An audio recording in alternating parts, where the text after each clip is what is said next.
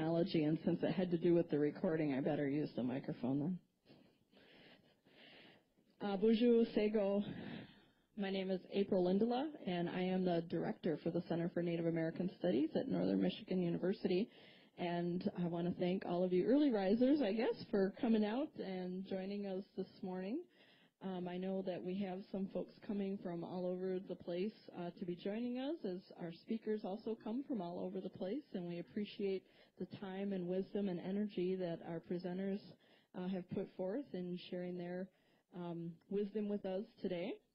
Um, I want to also thank Amy Cree Dunn and our committee members who took the time to plan out what I think is an exciting program uh, for us, and I do hope that as the day goes on, uh, we should be having classes coming in and out. So uh, for those of you that are presenting, uh, fear not as far as people coming and going. Um, that being a university campus ha- happens with classes once in a while. Um, I do want to apologize. Uh, Dr. Les Wong, our president for the university, had some travel scheduled and unfortunately was unable to be here with us this morning, as does happen with university presidents. Um, and so we got a call uh, Thursday afternoon indicating he was not going to be here, and had thought we caught that on the printer on the way to the printer, but we did not. So that's that's the way it goes with our our program. Um, I do have a couple of thank yous I do want to specifically mention. Corey Fontaine is an NMU student, and he did the artwork that is um, attached to this year's program, and it is on the front of the of your um, brochure. Um, if you haven't been able to see it, we have posters with the artwork. He is so talented and so um, excited about learning his language and so excited about learning more about his culture and being an active participant with the Keweenaw Indian community. We're just very proud of him, and so I wanted to mention him for his time and, and talents in providing us with artwork for this year's summit materials. Um, as always, we want to thank our audiovisual staff and our conference and catering staff, as well as all the staff at the Center for Native American Studies who dedicated time to the summit our NMU student volunteers and community volunteers. Bonanza Steakhouse actually helped us out with a little some coupons for our, our guests or, uh, that are here today. And the Keweenaw Indian community has continually been a generous um, neighbor, partner, collaborator, and without their uh, financial and um, community support, we really couldn't do the programs that we do. Invite the folks here that we invite. Um, they are they are just amazing to have as neighbors, and we couldn't really do these kind of programs without them. The NMU Ethnic and Cultural Diversity Committee is also supporting this event, and um, so with that, I just also want to say Chi-miigwech again. Thank you very much for uh, making the time to be here um, as part of our third annual in Indigenous Earth Issues Summit. Um, the summit really um, stemmed from a conversation that I had with Amy Cree Dunn um, about providing a course here at Northern Michigan University entitled Indigenous Environmental Movements.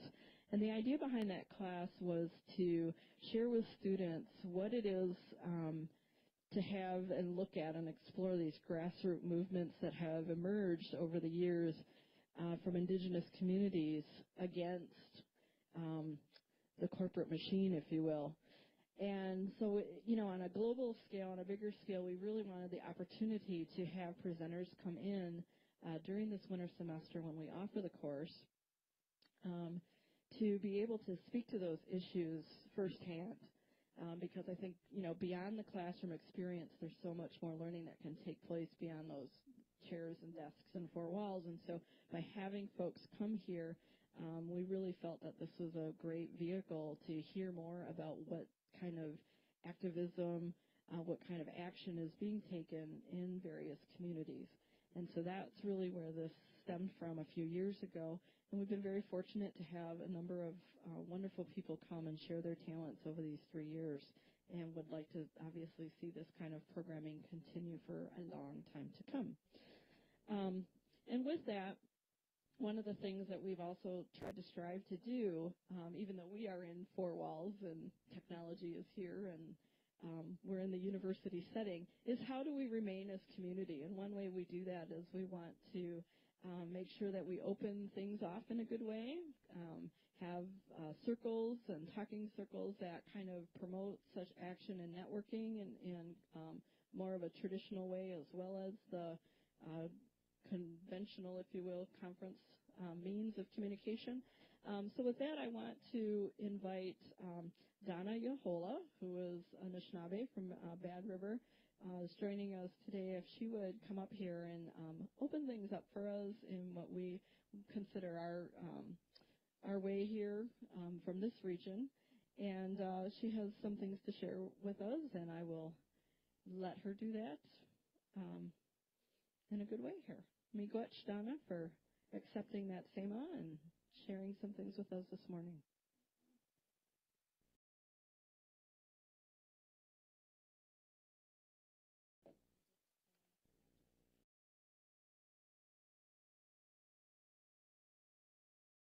Buju, Bidana du Kwe Aji Jakanodem, Minawaki. Um, my name is Coming Cloud Woman. My English name is Donna Yahola. I'm married to a Creek man, so my last name is Creek. um, my um, first of all, I really want to ask my elders to excuse me today because I'm gonna, you know, stand up here and do some things in front of you, and if that's okay with you, I would appreciate your approval to do this today. Okay, Miigwech. Um, so I just want to share with you um, this morning. I want to do a little smudging so we can clear our minds and get our minds ready, and our eyes ready, and our ears ready, and our hearts ready for the things that we're going to receive today. And um, then I would like to pass around some asema that you could put in the bowl. And as Ojibwe women, Anishinaabe Ikwe, we are women, we are keepers of the water. And men can keep it too, but we take the lead on that. Nobody says a man can't help keep take care of the water. we all have that responsibility, but it's us who lead the way. And so we're gonna, when we pass the tobacco out, you're gonna take some out of the pouch, put it into the bowl, and then later today, like I'm gonna go and put it in Lake Superior for us, and that's gonna be our prayer for everything, this whole conference, and as you we think about keeping that water clean for the next seven generations. After that, um, we're going to do a quick. Um, I would like, if you're sitting at a table with a pitcher of water. Last night, the Spirit came to me and said, "Well, you know, we got to do a prayer for the water." So when I got here this morning, there was water on every table and cups, and that's what I wanted. So um, everybody, I want you to bring up the water at that time and we'll sing a water blessing song, and then we'll each, then you pour a little bit, and then you drink it because water is our medicine, and water will keep us healthy. And so that's what we're going to do this morning in a good way. And I say miigwech. Miigwech, Donna.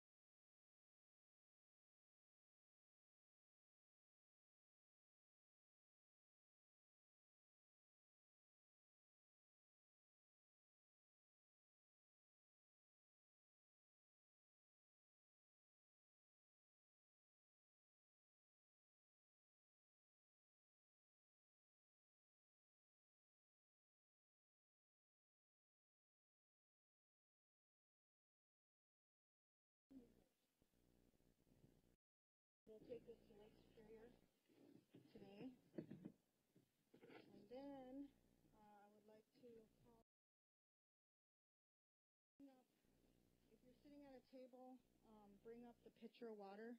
Bring up the pitcher of Nevi, your water.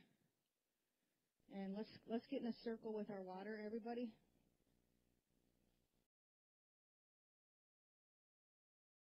Um, they can go back and do that when we're done blessing the water.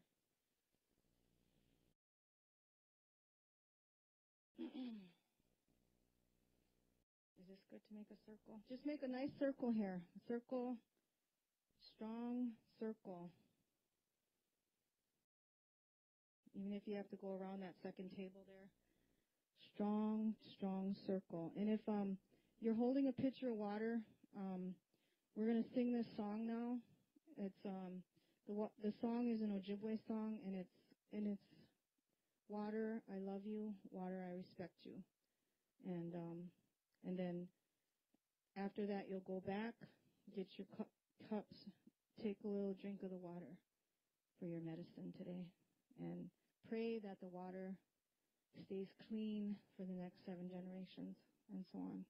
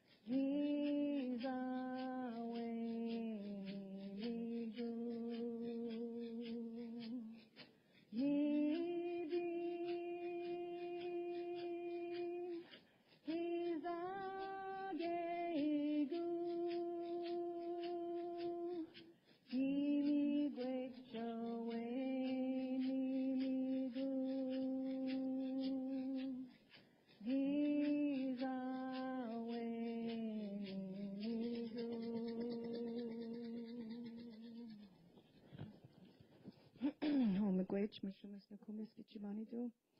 And uh, with that, um, that concludes. Go back and drink and make sure that all the people there get a drink of the water that we blessed this morning, and um, and have a good good conference. And we pray for all of our relatives and friends and all the sick, and for Mother Earth. Aho miigwech.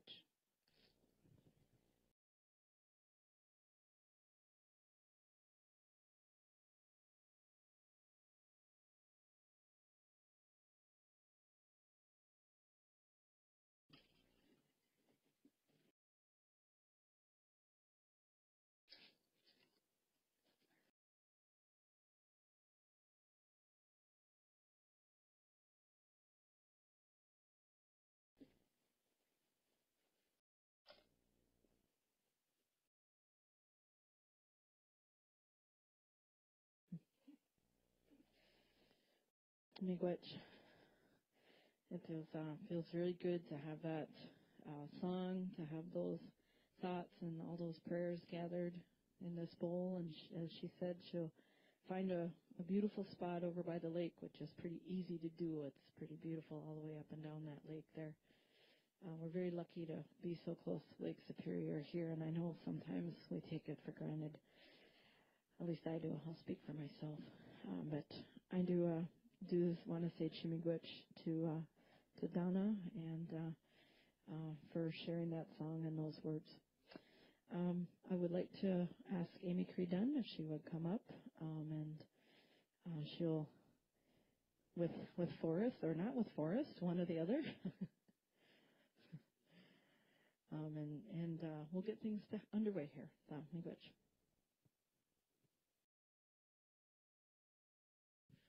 Miigwech, miigwech again Donna. That was a great way to start it. I, I had a good feeling about that uh, when I asked you last night.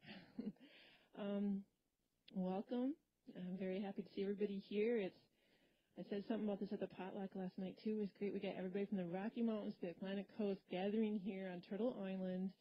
To what to me, when I take a look at the satellite pictures, I look at the Great Lakes and they look like the heart of Turtle Island. I, I don't know. I think of the chambers of the heart or something when I see those lakes. So I think that's a really powerful thing to have everybody gathering here.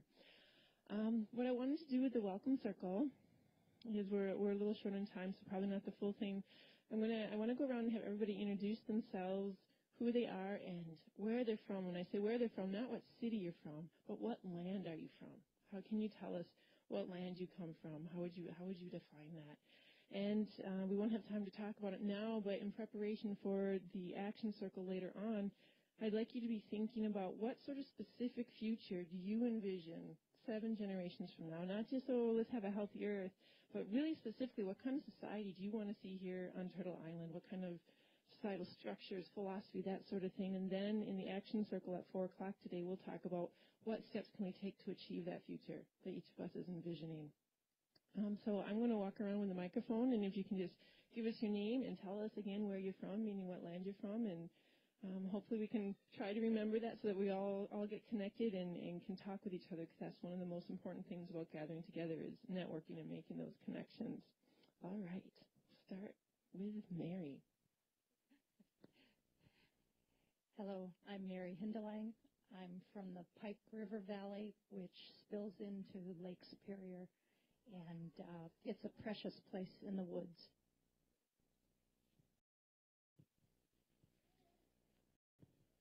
Well, hello, my name is Lori, and well, I'm from Prime Mountain originally, so I would, I just think that's a beautiful area in itself and has a deep history.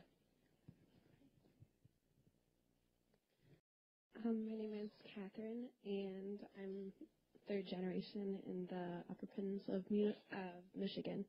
I'm quite happy for that. Bonjour, my name is Jessica Koski.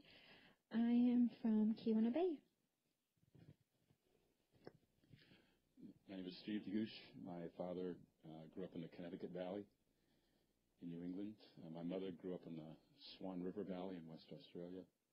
I grew up in the Androscoggin Valley in Maine.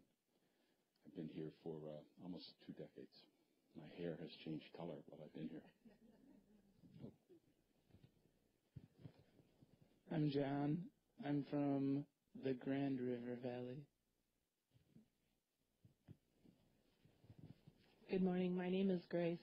My ancestors are Lakota from Rosebud Sioux Reservation, so that's the land of my people. But I've actually lived almost my entire life here in the Upper Peninsula of Michigan and am thrilled to be here always. All I have to do is look out my window every morning and I realize how precious it is to live here in the Upper Peninsula of Michigan. Bonjour. You already met me. Um, my mother's family comes from the Six Nations Reserve on Narrow-Sheridan, Ontario. And uh, my father um, always has lived around the Great Lakes area, so I've always kind of lived around the Great Lakes here within um, both the lower and upper peninsula of Michigan. English. I'm Samantha, and I live in southeast Michigan, and I have the Huron River in my backyard.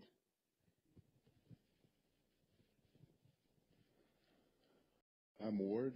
Um, been living in Arapaho country Front Range of the Rocky Mountains for about 30 years.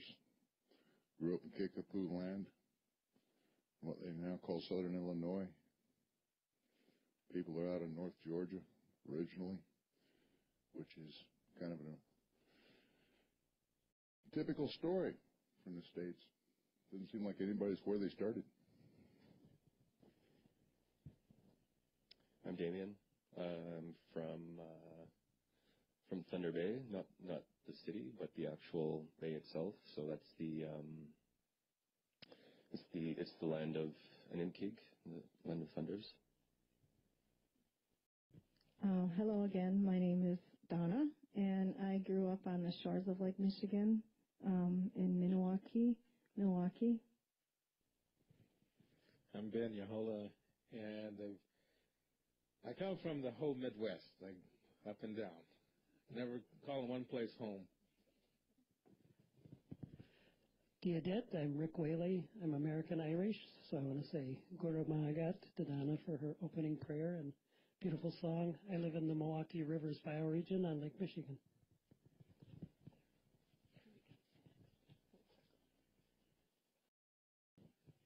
Bonjour. My name is Robin, and I'm from the St. Joseph County region, southwest Michigan, uh, land of the firekeepers. Hi, I'm Maureen, originally from Illinois. My family is Irish and Manx, and I currently live in Hazen, North Dakota, and homeland for the Hidatsa, uh, Mandan, and Arikara. Hello, my name is Gail. I'm originally from the Detroit River area and now live on Lake Michigan.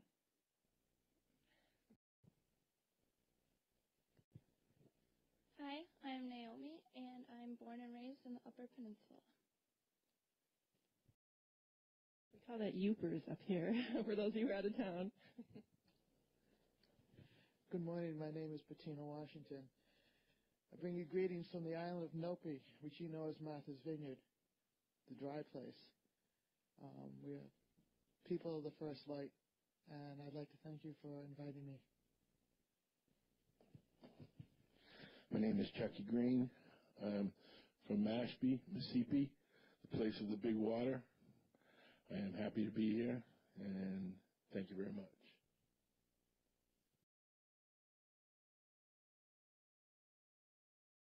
I'm Rachel Giuliani, born and raised here with uh, Lake Superior in my backyard.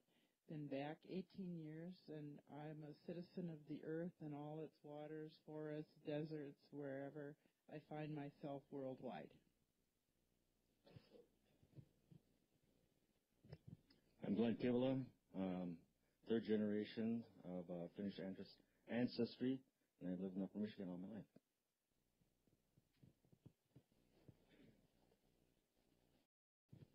I'm Shelley. I'm from Baraga and a student at KBOCC. Um, I'm Erin. Um, grew up in the Lower Peninsula. Have been in, coming to the UP my entire life. Graduate of Northern here, and now um, an instructor at KBOCC. So thank you for having us. Hi, I'm Cindy. I'm a student at KBOCC, and I'm from Lawrence, Michigan. Hey, let's grab the vendors. I'm not going to leave them out of this. Hi, I'm Barb. Um, I grew up on the St. Clair River, just south of um, Lake Huron, and I've been up here by Lake Superior for 36 years. Hi, I'm Teresa. Um, I was born on the Chesapeake, and my mother's family is from Appalachia, and my father's side's from Michigan, so I've lived throughout both the lower and the upper peninsula.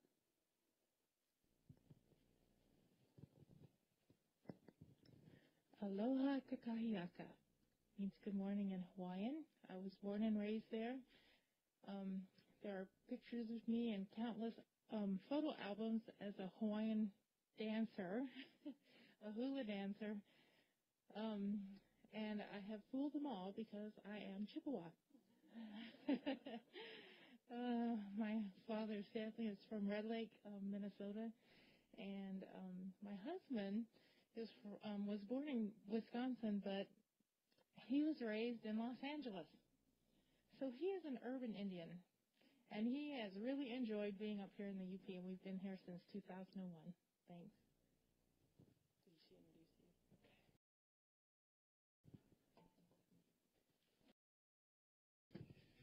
Where the uh, Menominee and the Kinnickinnic come together, that's where I'm from.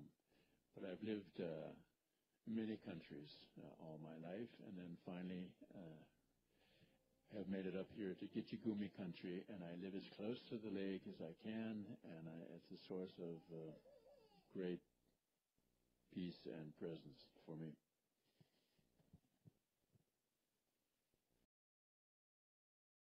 Hi, I'm uh, Linda Cohen, otherwise known as uh, Ojawa Shkobanesi Kwe.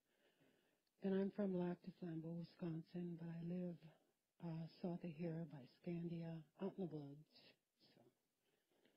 So I've lived up here just about all my life.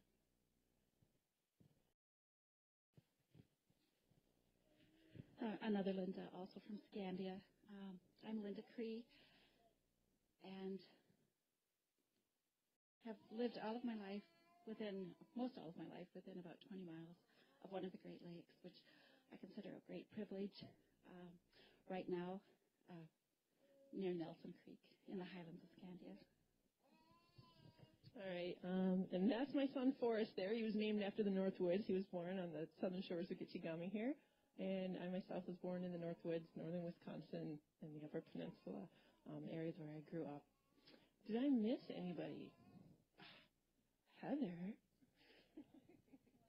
what is Uh, my name is Heather Neges Buju. Um, Jumakamikweg Indigenous Cause Anishna. I said, hello, my name is Heather. Um, they call me Earthquake Woman because I like to shake things up. I'm from Marquette, Michigan. I graduated from here and I work for Great Lakes Indian Fish and Wildlife Commission as a conservation officer. Which? Um, I come from the Pacific Ocean, California. All right, Miigwech. Um, it was really awesome to hear that. All the way, I guess, not just Rocky Mountains, but Pacific Ocean over to here, to the Atlantic Ocean. Great. We, we got a wonderful representation. Um, I hope that helps everybody kind of feel a little more comfortable with each other, and we'll continue to talk and make that connections. For right now, I think I will turn the microphone over to Grace, um, who works with the Center for Native American Studies, teaches for them as well, and she will introduce us to our first presenter. Thank you, Amy.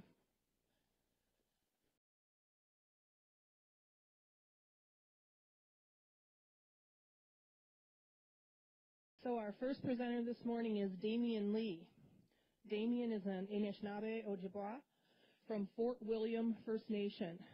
Um, he founded his community's first citizen-driven environmental nonprofit organization, Anishinaabe Gitchigami Environmental Programs, AGG, in, in 2006, which addresses the environmental racism affecting his community. Lee is completing the last year of his undergraduate degree in Indigenous Studies at Trent University. Please join me in welcoming Damien Lee.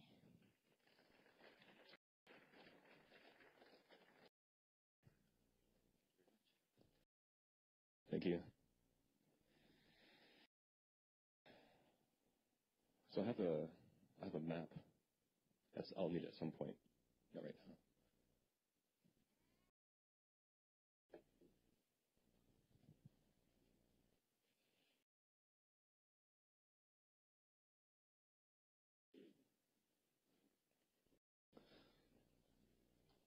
Bojo. Um, Damien Adishnakas, Fort William First Nation in Donjaba. Um, from uh, Fort William First Nation. It's next to the city of Thunder Bay, just uh, just across the lake here, uh, the long way, Kitty Corner, across the lake in Canada. So it's northern Ontario, um, and uh, my reserve is just across just across a small river from from the from the city of Thunder Bay itself. So even though even though Thunder Bay is quite isolated in terms of how far we are from other cities, um, it's kind of a community on, on, its own up in there up there in the uh, the far corner of the of Lake Superior. So as as I mentioned, I'm, I'm currently finishing my bachelor's of arts degree in uh, Indigenous Studies at Trent University outside uh, Toronto, Ontario. I um, I went back to school as, as a mature student. I'm I'm 30 now, so I've uh, I still have some work to do. I'm, I'm continuing on to do a master's degree in Indigenous Studies um, next year or next September. Um, so I want to talk. I want to talk about the the formation of an organization that I started within my community and some of the successes, but more importantly today I want to talk about some of the, the drawbacks that we experienced as a, as a way of reporting back to the community here um, about something specific about um, using non, in this case, non, non-Anishinaabe uh, ways of governing and ways of, of being within uh, with in, in ways of um, working on environmental issues instead of instead of prioritizing our own our own ways of leadership. Because um, though we experienced some successes, uh, there were some drawbacks that after a couple of years of being out, out of the organization that I started, which is still continuing, um, we've been able to review that and kind of reflect on on the drawbacks that we experienced in that in that designing the organization in such a way. So even though I'm not suggesting that we should be going out and starting our organizations all the time, if that's what you want to do, that's that's a really good thing. But also, if you don't want to do a formal organization structure, like I think some of the some of the reflections here might be useful, um, and I think really kind of straightforward too. But we didn't see that at the time, so it's kind of ironic. So, like as was mentioned, I um, I started this organization, but it really started in the 90s. And what happened was when, when I was a teenager, teenager in the 90s, I witnessed um, industrial waste being dumped in my community and on a, on a sacred site, and not a lot of resistance was being put up to that. There was some kind of resistance by our chief and council, our band structure, right? But um, it kind of, for whatever reason, got smoothed over with some government uh, government reports and kind of research they did on this on on the the effects of this kind of industrial waste on our sacred site, which they said, of course, there's nothing wrong with it, right? But that's just looking on, at the environmental aspect. It doesn't look at the spiritual aspect. It doesn't look at the communal aspect. It's just all they it is. They, they tested for PAHs and that kind of stuff in the soil. And they came back saying, you know, all the trees that are dying around this waste site are it just has to do with um, a rise in water levels, right? So that that to me at the at the time as a as a as a teenager, I was really worried about that, but I didn't really know how to do anything about that. Like, you know, there was no organization in my community that was working on environmental issues the band wasn't really working on environmental issues. So I felt kind of trapped in the sense that I needed to do something, but I didn't know what to do, right? So I spent the next 10 years working in, in environmental nonprofit organizations across Canada, in Europe, in Russia, um, basically the whole time trying to figure out what I could do to bring bring uh, bring some kind of momentum back to my community when I would go back, right? So in 2000, 2006, I finally did that, and I went back to specifically start this organization in the community. And it, it like I said, it, it did gain some successes. Um, about 20 people got involved over the course of two years that took me to organize it. So though I though I instigated it, um, it really became owned by the community after the first maybe year. Um, once people saw that you know there was something there to do, and there was a space, created a space for people to to enter into, to kind of um, address environmental issues that they were concerned about.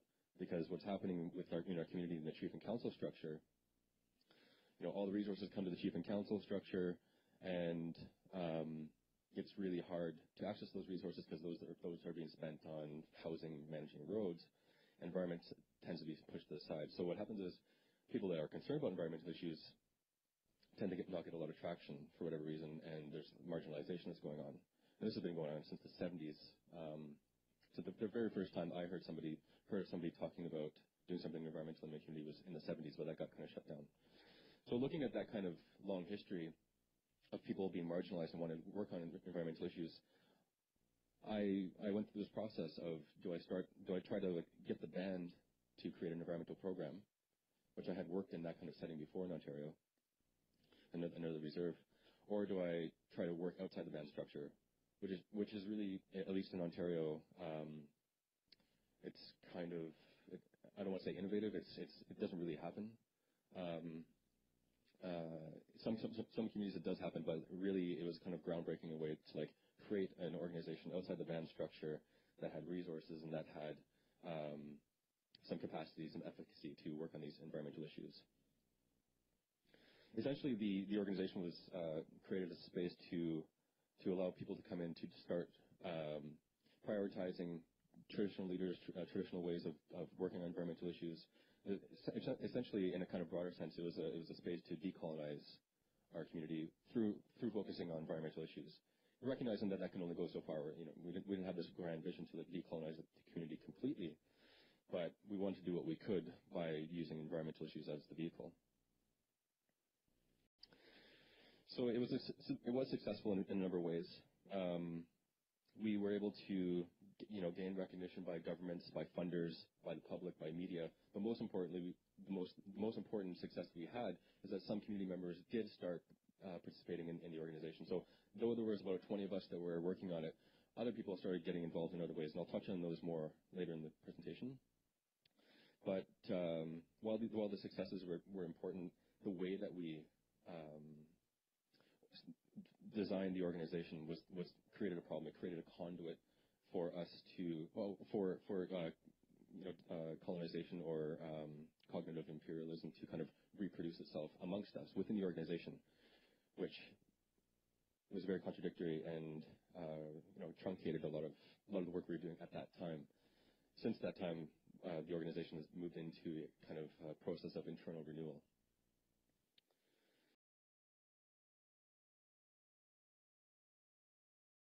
So I just want to talk a little bit about, uh, before I get into the successes and failures, I want to talk a little bit about um, why it's important, or maybe maybe locating maybe locating Anishinaabe uh, ways of governing and ways of um, dealing with environmental issues at the start of the presentation, and then kind of spreading from there. So within Anishinaabe culture, Anishinaabe epistems, um, there's no separation between humans and environment, and I think that you hear this quite a bit, but um, and saying it like that doesn't really convey the relationship. And that's really what it is. It is a relationship. Some some scholars uh, and uh, indigenous leaders in, in, in, my community and other communities have have kind of talked about the relationship, and it's a familiar familial relationship. So it's not humans are above the environment, separate from the environment, but we're actually a part of the system. We're part of a, an ecosystem, if you want to put it like that. We're part of an implicate order, if you want to put it like that. Um, some people have, have written it like this. Uh, it's a terrestrial consciousness in which everything is eating everything else, an ecology where all living things come into magnificent bloom and then almost immediately rot away. One way of saying it. Another way of saying it is that we, we have relationships and we have reciprocal relationships. Within my, my community, within Anishinaabe um, worldview, um, our relationship with the, with the environment uh, is, or creation maybe we should say, uh, is one of reciprocity and humility. Anishinaabe creation story talks about how humans were the last people to be, last beings to be put on the earth, and we needed the the the other animals, the other spirits, the other, the other intelligible, intelligible essences to um, to teach us and to share their their lives with us, whether that's through sharing their knowledge or sharing their bodies as food. So we're completely dependent on them. So there's a humility that's imbued within that relationship. And the relationship is so profound that uh, we recognize it by having by, by participating in a clan system where where the animals that make up our clan system are our family, right? It's so important that we look at that in that way that um, we're literally part of the family, and it ex- extends past this notion of human humanness, and where we're just simply humans, and, and everything else is, is separate from us. Looking at it in terms of a family is very important to how uh, we can move forward in terms of working on environmental issues from indigenous context without uh, reproducing the cognitive imperialism that we experienced in starting this organization. So just a little bit about the, the, clan system because I think it's important because what I'm talking about today is leadership within this within an environmental context with, from from an indigenous standpoint. Within the clan system, um, leadership is emergent. Um, a good, a good example of this kind of emergent uh, leadership is, is geese when they fly south, and Basil, Basil Johnston talks about this.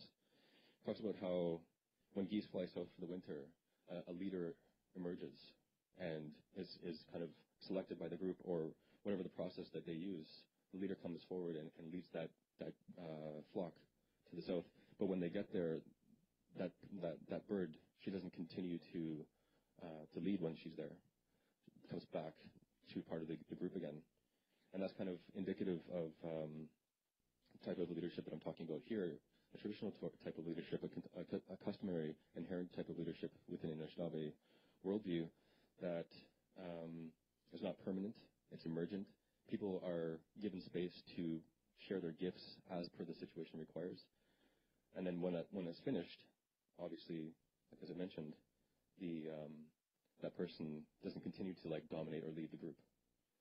And that's really important to juxt- juxtaposing that to current, at least in Canada, the way, way we have the chief and council structure set up, which is forced on us by the Indian Act, um, Canadian federal government legis- legislation. It, it is basically a municipal style government where um, the structure itself is permanent, and it's the whole system is permanent and and um, is, sorry, is attempting to be permanent, and uh, it kind of dictates how how leadership is is kind of manifested within the community.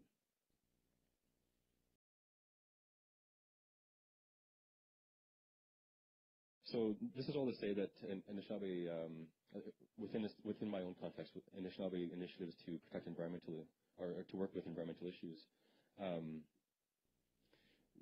Anishinaabe ways of seeing the world need to be prioritized over that of, in my case, the province or in Canada, the federal government kind of ways of governing, ways, ways of leader, leadership, right?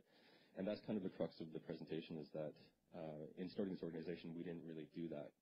We went the other way. We, we adopted legislation by the province specifically um, in order to quite simply get a bank account. I mean, we needed to have a, a nonprofit number to get a bank account to get money, right, to work on environmental issues, which is one of the main points later. I'm going to talk about funding and um, and the need to, uh, or, maybe maybe the, circumstances around funding where funding itself can actually truncate or prevent environmental issue or environmental initiatives from starting, right? From within Anishinaabe culture, um, we didn't really need funding to to perpetuate the culture, perpetuate the language, or to share teachings. All we needed was the will.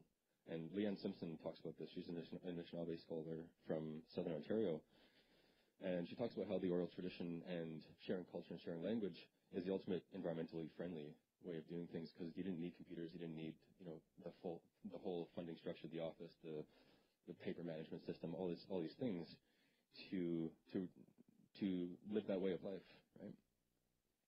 And by doing that, by, by bringing in funding, you, you have to play some role in the, the uh, nonprofit industrial complex where you are you know, having to jump those hoops, have to buy those computers, get the, the accountant, all this stuff, and all all the the energy that that's that those kind of hoop jump that that kind of hoop jumping takes away could be used on your own community. And that I mean, I'm not not talking, I'm not saying that uh, funding isn't required for some things, but um, focusing on that as the starting point can be problematic.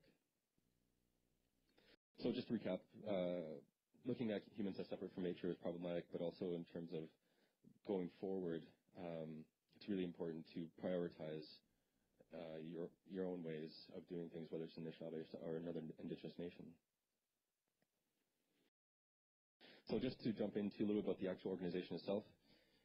Um, after I returned to Thunder Bay, I um, started working on, on on this organization, and my, my community has has um, a long history of being impacted by colonization. The my community is separated by the city of Thunder Bay, as I mentioned, by a river. And that river was a major site uh, for the fur trade. It basically allowed fur traders to move in inland to northern Ontario uh, from Lake Superior, where you know going in, going in they would go in and get uh, work with indigenous peoples to to get fur, but also it was it was served as a shipping point, right, to ship the furs back down to Montreal. So, of course, there was um, missionaries that came up there, and there's like the trading post and the whole ideology that, that arrived that you know marked the beginning of colonization in the area. So the river that uh, I'm talking about is called the Kaministiquia River, and it's very important to us. Our, my community is, um, you know, it's on it's on the it's on the shore of Lake Superior. It's next to this river. We're very we're we're connected to the water very in a very kind of deep way, but as the as time went on and the fur trade kind of um, dissipated, the that river became an industrial corridor for what is now the city of Thunder Bay. So a lot of land was taken from us. Uh, quite literally, my community is, is, cut off from, from Lake Superior, and, and for in most of most of the reserve is cut off from from the actual lake or the actual water. We have some water kind of frontage, but I would say probably 85% was taken uh, illegally through through the 1900s and that was done mostly for industrial development. So what you have right now is kind of this juxtaposition of the city of Thunder Bay, you know, doing its thing, and then the Thunder Bay's industrial corridor is our kind of border between the reserve and the the city itself. So though the the development itself, um, uh, how do I say this? the development itself uh, kind of looks innocuous in terms of oh you know we needed it was already it was already being used for industrial development, so we're just going to like continue in developing industrial there. It's actually, from my point of view, it's a, it's a type of environmental racism because the permitting that that takes place there over time, again and again and again, it you know it kind of connotes a, ter- a certain type of um, worldview uh, that that forces Indigenous peoples into that worldview as you know not Western, not Canadian, therefore maybe not uh, important. So that kind of uh, environmental racism is manifested in, in, a bunch of different ways. Um, from, like I said, the the industrial corridor, which is made up mostly of pulp and paper and, its supporting industries. So there's the chemical plants, there's um, coal-fired power plants, uh, there's a lot of like manufacturing going on in that, that spot. But also, it manifests in terms of uh, actually on my community, whereas the river kind of is the, the, the boundary, the border between the city and, and my reserve. The the effects of that kind of environmental racism have, have kind of permeated over. So cognitively, uh, we were suffering from being treated as not good enough or being treated as a garbage site, right? Because what's happening is not only is there the corridor, but also people are bringing their garbage over to the community illegally daily um, and just dumping it wherever they want, right? Um, and that's basically being done to save five dollars at the, at the city of Thunder Bay landfill. But also the like I, like I mentioned earlier, there's the, the there's this um, industrial waste sites on the community that were that were permitted by Indian agents, which were kind of speaking on behalf of my community in the early early 1900s. Uh, and they, they decided that it was okay to, to site industrial waste sites on the community, right? So there's there this whole this whole notion of uh, is it innocuous or not? Like I would argue that it's actually not. That there was an intentional, um, you know, someone somebody went through a decision process on on deciding whether or not to make my community a dump site. We didn't decide that. We didn't decide to have the industrial waste, uh, the industrial corridor next to us either, right? But we're living with the effects, and that's really key.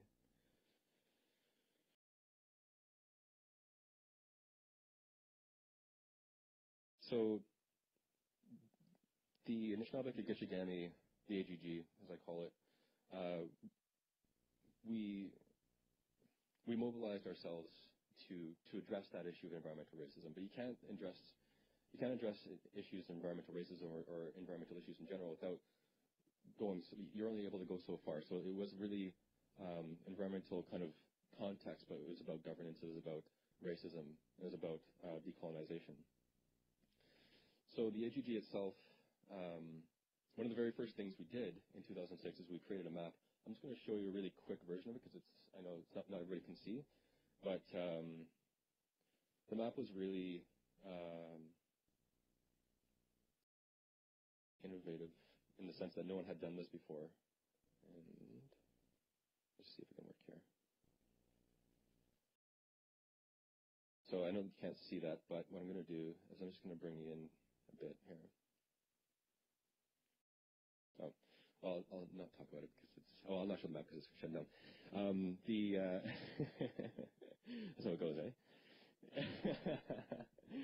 so basically what I was going to show you is that the our, the most populated section of my community is literally surrounded by industrial waste and industrial activity. Um, we found 15 active industrial uh, act, um, operations next to us, um, emitting dioxin, mercury, um, these types of things. And further, to that, we're also surrounded by the industrial waste sites I was showing you. So there's um, uh, a massive, massive waste site right behind people's houses.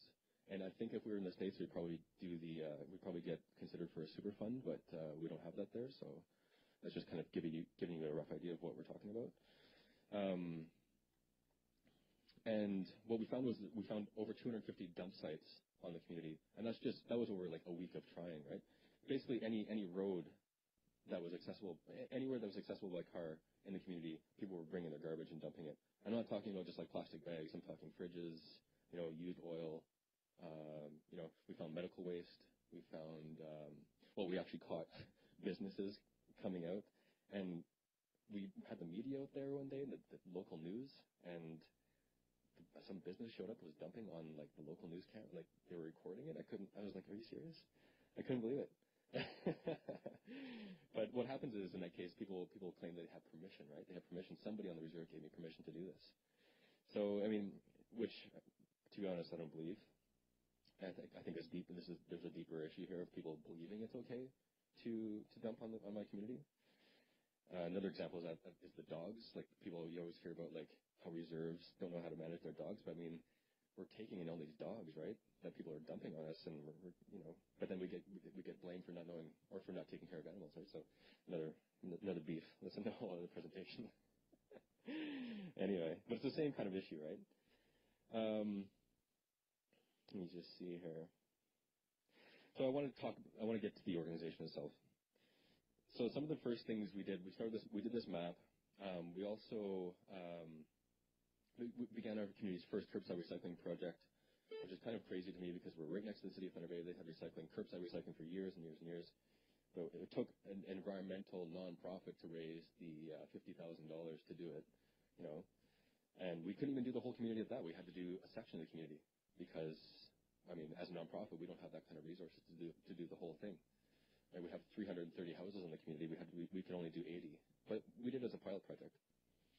Uh, we we engage people uh, in environmental education. We engage them in communicating uh, their concerns, whether by through the media, like through podcasts, newspapers, whatever.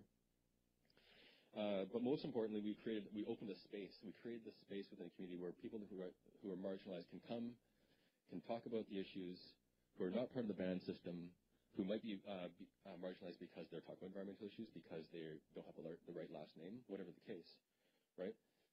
We created this space where they could come. They had resources at their fingertips. We raised, uh, you know, in the first two first two years, we had about four hundred thousand dollars to, to you know, to work on these issues, whatever we wanted to do. You know, uh, the the funders jumped in because they they recognized there was a need. Um,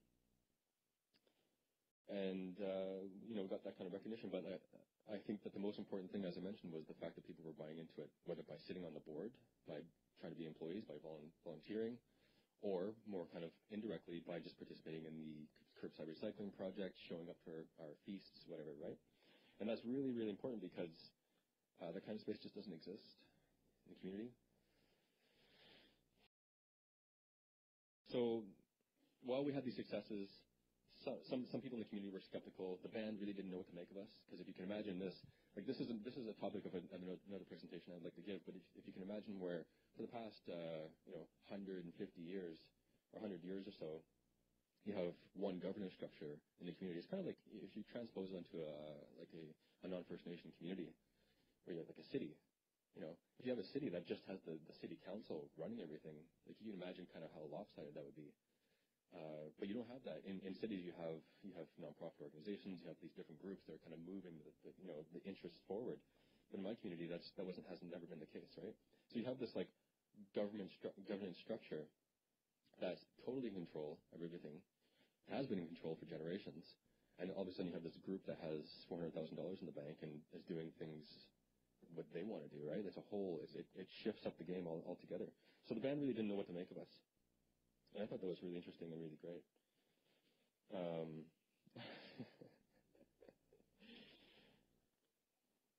so those are the successes. I could talk a little bit more about those um, if you would like, but I think that in terms of environmentalism, like they're kind of, um, I think that they are kind of um, normal in the sense that uh, you know recycling is straightforward uh, doing environmental education is, is straightforward. It's all very needed and good, but I think that the pace that we, we managed to achieve that was really unique.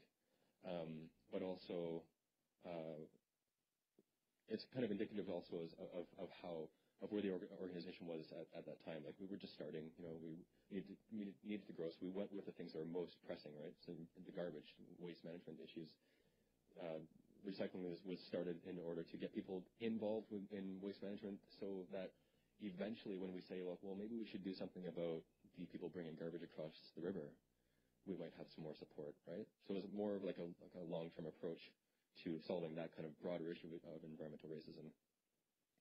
But aside from all that, the problems is what I want to talk about today. I want to talk about um, the the issues of, of adopting of, how of how we of how we started the organization. We basically adopted uh, uh, the legislation from the province of Ontario, uh, um, nonprofit le- legislation. So. In, Canada, we I think it's similar down here. We have two different types of nonprofits. We have charitable, we have nonprofit that's not charitable. I think I might be wrong about this, but I think that the equivalent down here to what the AGG was a 501c4, not a C3. We, we couldn't write receipts. But I'd be happy if, if anybody, anybody has some ideas about the, the kind of comparison, because I, I just think that that's what it is. Anyway, um, the reflections here are my own, and I think, and I've shared these with the people that are now involved with the AGG, and they're working to, to solve some of these issues. But being being the founder, being the, the, the, the leader of the organization for the first two years, and seeing some of the issues that came up, I thought that was really interesting, but also really kind of um, presented a, a, an intersection for learning that, in the long run, I, I believe is actually is is actually going to contribute to the decolonization of my community, even though we had some problems at the start. So, like I said, there's some there's many layers to this. Some some of these intersections are are political, some are epistemic or cultural, some are technical. But leadership is the one I want to talk about today. Leadership structure, and um, I think that's just important because uh, it's gonna it, it will underline the importance of of using your own inherent ways of uh, of addressing environmental issues. And I think because I'm not going to be here for the afternoon, I think that some of this can contribute to the, the roundtable later on. So one, the, I think the biggest thing that I noticed about adopting that structure, which, so I maybe should talk about the structure a little bit.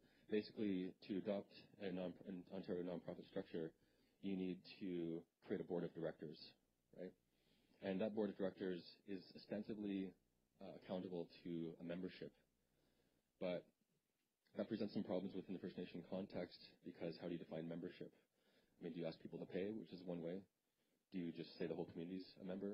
You know, but regardless of that kind, those kind of problems in, in defining membership, adopting the adopting the, uh, the that structure, it actually gives the province final authority over the over the organization. My board was not accountable to, ultimately was not accountable to the community members of Fort William First Nation. They were accountable to the province of Ontario, which in itself is problematic if you're, if you're talking about decolonization because obviously we're struggling with colonization issues from the, from the state or the, the province, right? And that's what I, what I noticed. I think I caught it pretty early on when I, when I first started seeing this. What happened was my board, um, who had been struggling because they're marginalized in the community, who had been struggling with getting getting some kind of uh, control over the issues in the community, suddenly found themselves in this space where they could do that, right? But the only model that we've been exposed to in terms of governance for the past hundred years is the chief and council structure, which is exactly the same as what I'm talking about in terms of adopting a provincial uh, nonprofit structure, governance structure, because the chief and council is not ac- accountable to Fort William First Nation community members. It's accountable to the, the government of Canada. You know, it's uh, administrative governance. It's not. It's not. It's not. A, it's not a style of inherent governance at all. You know, though though my community votes them in, you know, it's the it's the government that can can rescind any bylaw that we, we create or or change our chief or whatever. So it's it that that kind of dysfunction that comes with that kind of system was reproduced within our board structure where accountability issues arose, transparency arose, tra- sorry, transparency issues arose, um, and I, I saw it. I saw it right as soon as it started happening. I could see that what we created was a mini chief and council within a nonprofit, which was trying to decolonize from the position that we were being um, dominated through a, uh, a, a racist piece of legislation called the Indian Act, right? So while the Indian Act controls the chief and council, the Ontario Corporations Act controlled us and just created the same structure where we had this kind of executive board, you know, when no one was accountable to anybody else. It's got, you know, it's caused some problems. And I'm really happy to say that we caught those problems in, in the organization now, even though I'm not formally a part of it, just because I'm so far away, that those are, these issues are being worked on. so I think that's kind of the, the silver lining in all this is that we did catch them and we're starting to work on them. But I think the most important most important thing is, the fact that that structure started to impede us or impeded us from from it impeded impeded our, our sorry impeded us from even starting to challenge our own kind of thinking around decolonization because we're so caught up in that structure and managing it and kind of participating, jumping the hoops of the, uh, the um, nonprofit industrial complex, you know, finding the money, jumping the hoop to report on it, um, making sure the board was all set up and making sure that the province knew what we were doing every month. You know, it took all this, this kind of energy away from us that we, what we really wanted to do was work on, work on environmental issues to, to reclaim our, our minds, our community, our land. So externally, the organization was kind of viewed as being this innovative thing and doing all this great work, which it was. But internally, we were struggling with a much more latent and kind of uh, internalized form of racism that was being expressed. We gave it a conduit to, to express itself in a different way. I mean, it, it expressed it's, it's, it's, it is expressed in the community in other ways, but that was kind of uh, very interesting in terms of how uh, it just came about and what it did to us. So just a little bit about that, the process, I mean, or the structure, it's, it's hierarchical. It, it, favors permanence over paradox because it's so administratively, and, oh, sorry, and it's, it's uh, administrative heavy. What I mean by permanence over, and over paradox is like, like the chief and council structure, the, the board structure is this permanent thing where, again, it's not like the geese, right? You put somebody in there and they, they dominate it, right? And I don't mean that personally, like they're a dominating person. It's just like when you're in that position, the position itself facilitates and fosters that kind of dominance. And that's what we see in the, in the chief and council structure in the community. So, and then the other thing too is that the it, the the ultimate accountability rests with this with the with the province or the state, and the state the state holds all the all the cards, right? Which I mean, at any point at any point if we didn't we, if we didn't do something that was acceptable by the province, they could come in and just rescind our organization. So that's really important. Um, and kind of taking a step back from from kind of the intricacies, the most poignant uh, implication of using that um, that type of legislation instead of prioritizing our own ways of governing, our own ways of leadership, was that it uh, it reproduced the cognitive imperialism, imperialism in the community where, you know, we just basically adopted and reproduced and, and let, let that manifest in the organization where uh, the accountability and the kind of like ruling by iron fist way of doing things was expressed. And I mean, that ultimately Im- impeded our work because it slowed down the work we were able to do on actually actual environmental issues and got us caught up with trying to sort out these, uh, you know, these issues of internalized racism. Like, oh, where, where is this? Why aren't we good enough to do to do this thing? Why can't we trust each other? You know, why aren't we working with our, our elders and why aren't we prioritizing our own ways of doing things, such as um, you know looking to the seven grandfathers teachings and these types of things that are culturally inherent, as opposed to breaking out the Ontario Corporations Act and seeing what we have to do next, right? So it's, it's kind of like a, the roadmap. We're, we're following the wrong roadmap.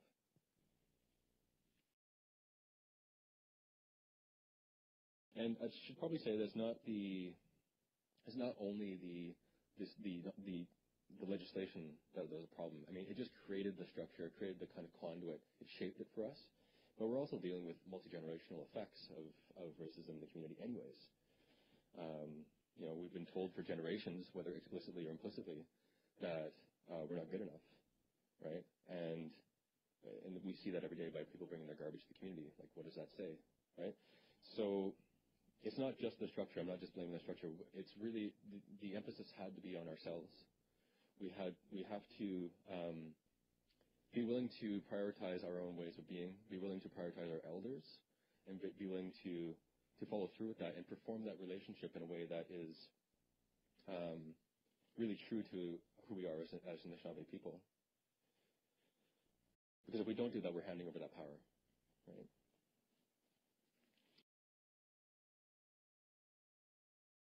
So, so just just to um, just to kind of reframe it a little bit, the focusing, using that kind of structure of, of looking at, um, I think it's been called the uh, the three pillars of society, which is kind of like this big Western way of looking at things, where you have government, you have you have nonprofit or the voluntary sector, then you have corporations, right? Nowhere in there does Indigenous people fit, right? I mean, we don't really fit in the, in the nonprofit sector because, I mean, in, in terms, I'm talking like uh, epistemically, because we uh, we have our own ways of looking at that that issue. Like that whole that whole uh, three pillars of society structure kind of has as, as, as at the very beginning this notion that we're separate from the environment, right? That it takes institutions and and nonprofits and organizations to take you have to have that first before you can go work, work on environmental issues. Which is, and what we're looking at here from within the Anishinaabe culture is that we don't need that. All we need is the will. You know, all we need is that will to do the work. All we need is the will to perform the relationships that we already have, that are already encoded in the relationships, they're already encoded in the languages, and who our elders are already are still still holding, right? Like they have that knowledge. But what we did in, in, in the case of the AGG is in our rush to get money, we kind of negated all that, and that was a problem. This is why I kind of align myself with um, again uh, Leanne Simpson, uh, an Anishinaabe scholar down in uh, Southern Ontario, and she talks about uh, getting rid of funding mentality, but that can be that can be kind of expanded to getting rid of the, getting rid of this the, mentality that we need to like adopt that kind of system generally. And she talks about um, resurgence, and she's talking about she says that disconnecting ourselves from the agenda of the settler governments and, and institutions is a critical first step for recentering our collective strategies and re- for revitalizing the base of our nations. And I really believe that, and I can I can really see that now after going through the process and of starting this organization. Because what happened was, you know, those 10 years I was out getting all this uh, experience, I was just building this model that I believed at the time was really the right thing because I didn't have anything else to, to kind of to uh, kind of mold it after. But what I brought back was a non, was a nonprofit model, right? And another way, maybe a better way to do that, should have been to work with uh, the community elders. So it's kind of a, a, a humble kind of report that I'm giving you here today because it's very personal to me because this, this organization really did take up 15 years of my life. How much time do I have here? Sorry. All I want, yeah. okay, I have, um, I have, um, yeah, I have one or two more things I'd like to say, and maybe if I have time, we can talk about questions, or I'm not sure what the structure is, but. So, I know there's an action circle coming up later today, and because I'm not going to be here, I want to kind of share some, some of the things that I would like, that I would have said in that circle. These kind of like takeaways from my presentation right now. Um, so issues around governance, culture, languages um, is really key. And what I mean by this is that by prioritizing our own way of doing things, we are actually going to support the resurgence of, in my case, Anishinaabe ways of being, Anishinaabe uh, um, ways of performing the relationship between my community and the environment, right? Ways of kind of removing that kind of separation line altogether. And I really think that prioritizing those ways is is the most important thing. And I think we we often hear this in terms of like, uh, you know, we have to use the language, we have to use our own ways of doing things. But I want to talk about, I want to share with you a little bit um, of a personal way that I've began began to do this because I think that uh, decolonization is really starts with a, a with the with the person. The per, it's a personal process first, and at least within Anishinaabe culture, it kind of it's it spreads out so it starts with you, then it goes to the family, you know, then community, nation, and then international relationships, right? So that, looking at it like that, at the national level, the identity, the way of being is really based on individuals living a good life, living by B'mādzwin, living, living in a good way, right? Respecting relationships. So we have to be uh, willing to, to, to work with our elders and, and really kind of um, prioritize their teachings and prioritize uh, the language over the, in, in, in our case, over the uh, nonprofit structure that we adopted. We have we have to like really, really, really go for that. And the there's there's ways to do both. There's ways to to use that structure without letting it overrun you, but uh, we didn't engage with that, and that's kind of where the organization is right now.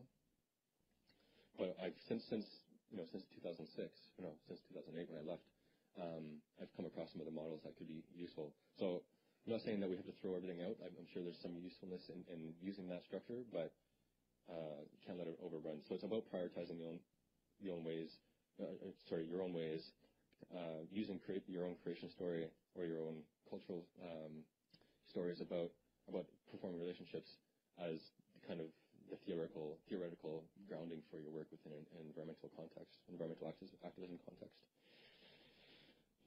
It might sound like a utopian argument, but um, the these ways were done, you know, for millennia before before uh, nonprofit organization structures and and uh, kind of racist legislation came along. Like Indian, in Canada, the Indian Act wasn't there forever. It's something that's been forced on us only in the last, you know, two, uh, last 150 years or so.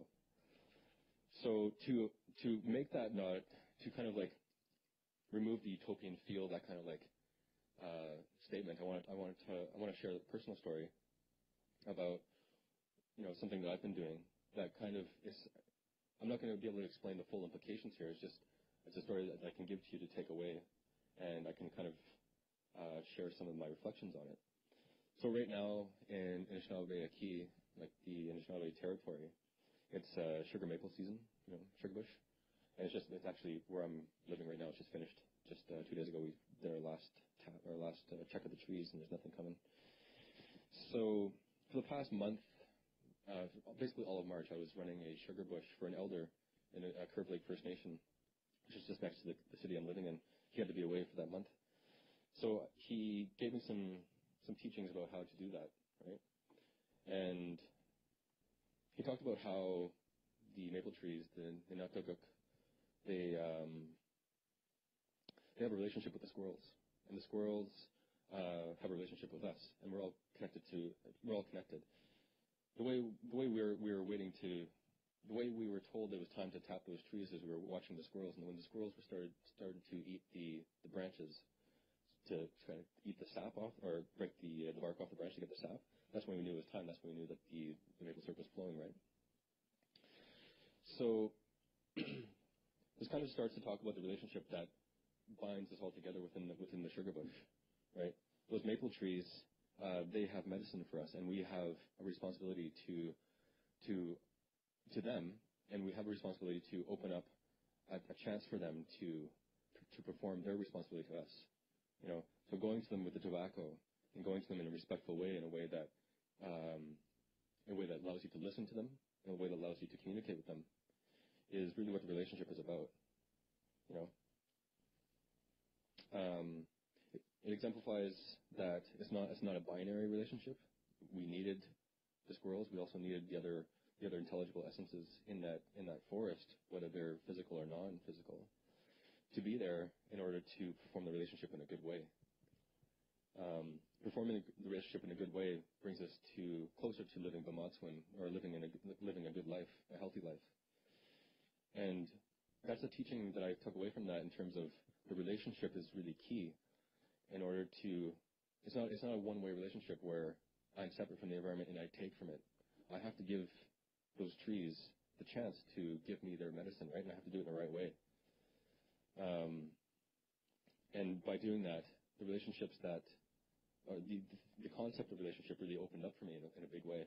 I had been going through some pretty uh, pretty intense personal issues that month, while as going out into the sugar bush and back. But those those teachings that I that I got through just the, through performing that relationship really really underlined the the importance of having a good good relationship and and doing things in a good way with within all your relationships, whether it's within your environment but also within your family, friends, whatever the case. And this this to me talked about prioritizing the my own, like, you know, Anishinaabe ways of doing things. Uh, by prioritizing the, the concept of relationships, reciprocity, humility, and by prioritizing listening to elders, that that to me all spoke to the to the importance of of going back to the the language, going back to the teachings, and also it talked about it spoke to me about um, living in a good way and and giving and doing my respons- doing doing my role or playing my role in terms of um, allowing other people, other beings, uh, the trees in this case, or my friends, or my family, to to come to me uh, in a way that I can f- fulfill a uh, reciprocal relationship with them. And I think ultimately that's what we're talking about from uh, what, that's what we're talking about in terms of bringing um, environmental activism into an indigenous context. It's not about separating yourself. It's not about adopting other structures, other ways of doing things. It's actually about just reliving and renewing and um, performing your culture and your relationships, your language, because it's all imbued in there already. And by doing that, you don't uh, separate yourself. You actually bring yourself closer, or closer not even the right word, because I'm not talking about boundaries. I'm, it's more you're able to uh, fulfill the relationships that already exist between you and the environment. And when you do that, you um, it's really hard to to pollute the environment. It's really hard to uh, to treat it wrongly. And it's actually I think it gets a lot easier to collectivize the your community uh, and those relationships in a way that's again moving towards the Bamazwan or living in a good way. And that's it. I don't know if people have questions, but um, that's that's what I had for the presentation. I don't know if I went over or not, but.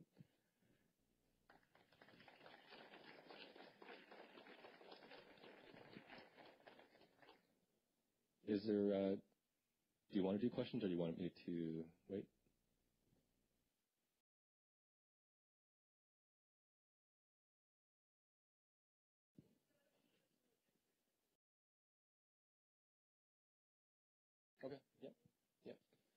Is there questions?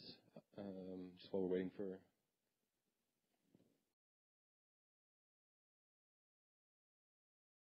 No? Oh, oh, sorry.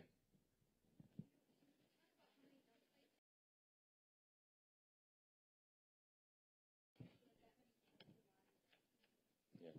Yeah. Um, the water probably is really bad, but we we are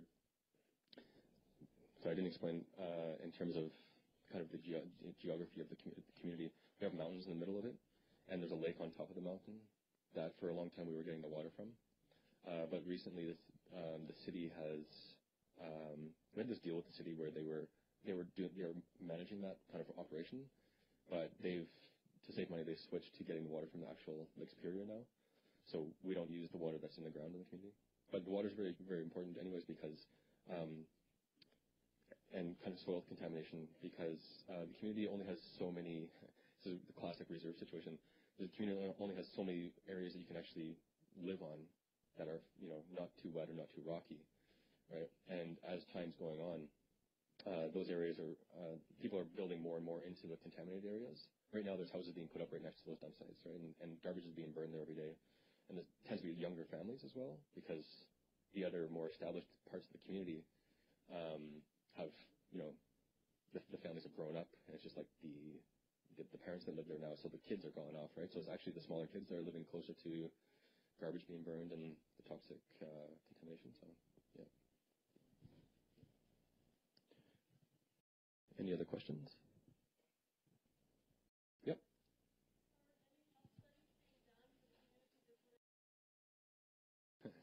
yeah. Uh, that's what we wanted to do. We wanted to create a baseline study. Um, no, there hasn't been yet. Uh, when I was there, I was talking to some some epidemiologists about that, and I mean, there's they were saying there's some problems with doing that. Uh, you know, it's not going to be representative because the population is too small. But I think that I think it'd be useful anyways just to have a baseline, even though we can't really argue anything with it. I think that it would be really useful to uh, mark that now because I mean our population is going to get bigger and bigger, right? And uh, it'd be nice to know if it's getting worse. You know, even even if we have to use as anecdotal information, but yeah, nothing yet. I, but I would re- really love to see that they're doing stuff on fish and some some uh, some moose and deer, but not people.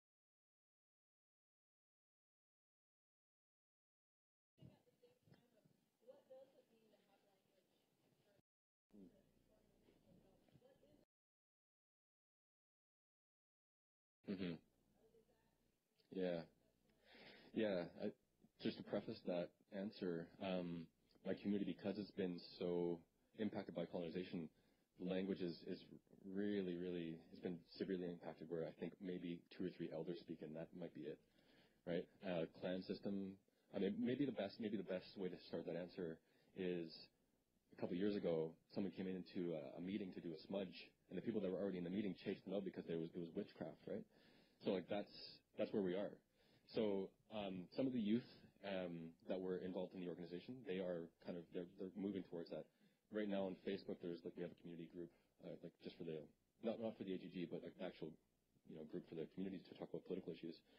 And you, you're seeing that more and more. They're talking about going to the elders and doing clan system stuff.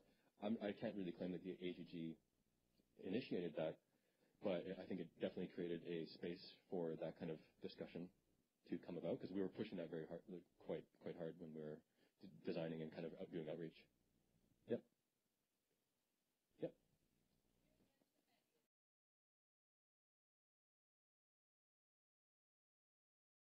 Some alternatives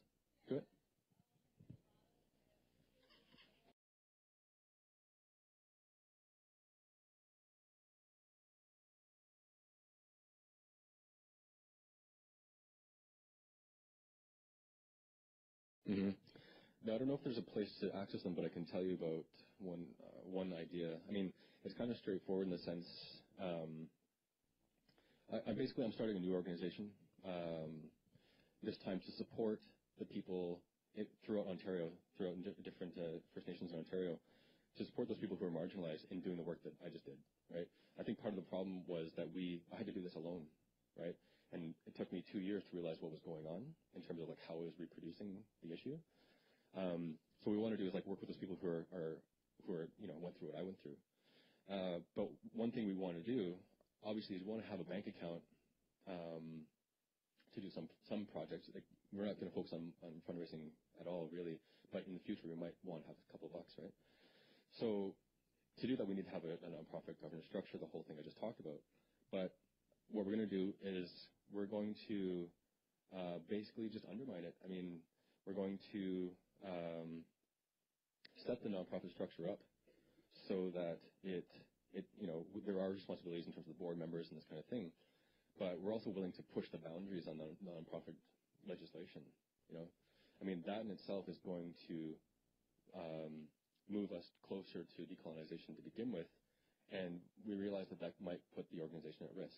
But we're not really there to kind of like professionalize, you know, part of the nonprofit industrial complex. We're not really there to professionalize and make a career out of it. We're there to like really just support the people that are on the ground. And if that's getting on the phone with them and talking about, you know, stuff that I went through, but also maybe some suggestions for their own situation, you can do that without the, the nonprofit anyways, right? It's just a way, we're, we're basically creating an entity that will also have a nonprofit kind of uh, manifestation, but it's actually just a group of people. So, and what we're doing is instead of looking at, um, instead of creating a vision that we're going to kind of, that's going to kind of like umbrella our work, we're actually going to make the vision the performance of relationships. If you can, if you can imagine that, uh, it's making making the vision into a verb um, by making it about relationships. And it's kind of it's kind of hard to explain, but um, instead of like setting up the structure and stepping back from it, we're actually going to be challenging it every step of the way and willing willing to to lose their nonprofit status. I mean, I mean, some of the some of the organizations have done that, but not not within uh, the First Nation context. So, yeah. any other questions? Yeah.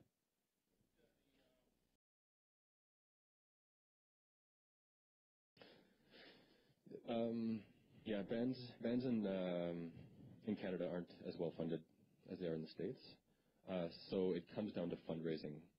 Um, the one band I worked for had an, had an environmental program. Uh, most don't. Mine doesn't. Mine had a, a, a guy working on environmental issues uh, eight years ago, but they put him in an old washroom, and uh, that was his office. And I mean, he he worked for six months, and he just it was just about how much money he could raise to keep himself going. Right? There was no kind of like infrastructure behind that, so it, it, it's not something that's common. It depends on kind of the size of the community. You know, some some do, some, but most don't. Yeah.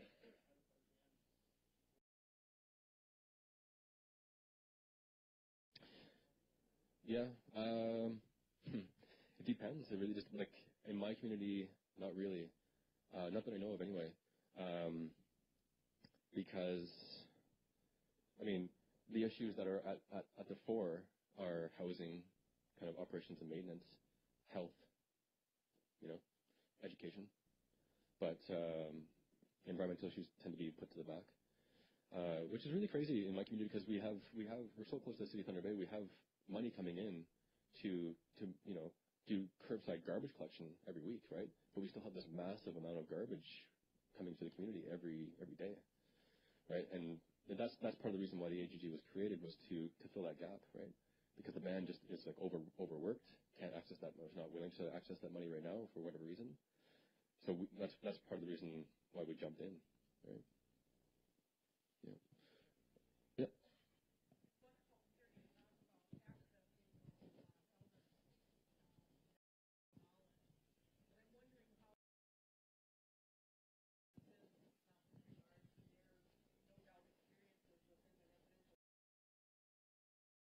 Mhm. Mhm. Yeah, we had a we had a uh, day school on the rents, but it still has the same effects. Um, well, I think more deeper, uh, or maybe maybe to like kind of flesh out that context. Uh, the elders, there's an elders group in the community, but I think that it's not being taken as seriously as it could, because what you have again is you have the chief and council structure that's been running the show for 150 years, right? And who are not prioritizing elders, elders as leaders, elders as sources of knowledge. There's a lot of there's a lot of lip service, like we have to work with the elders, right? But I mean, to be honest with you, I don't see it. So, uh, in other communities, you can you can see it more, right? But yeah, not so much in mine. But that's that's, that's something we try to do through this organization, but also personally, right?